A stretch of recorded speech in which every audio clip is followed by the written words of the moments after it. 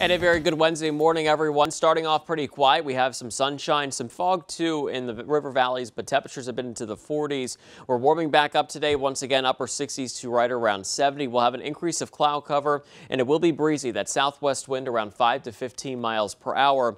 Heading into tonight, we'll have a mostly cloudy sky. Chance for an isolated shower, but pretty mild, especially for this time of year. Temperatures are going to be falling into the 50s.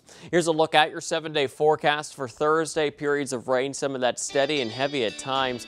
Even the potential for a few thunderstorms for the afternoon. It will be windy. Temperatures are into the 60s. For Friday, we'll see some clearing. We'll have clouds breaking up for more sun.